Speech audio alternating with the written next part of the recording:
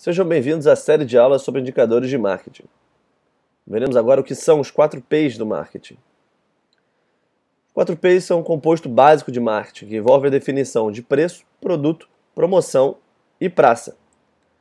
E ele também é melhor visto no modelo de negócios, que é uma visão mais fluida e conectada entre essas áreas.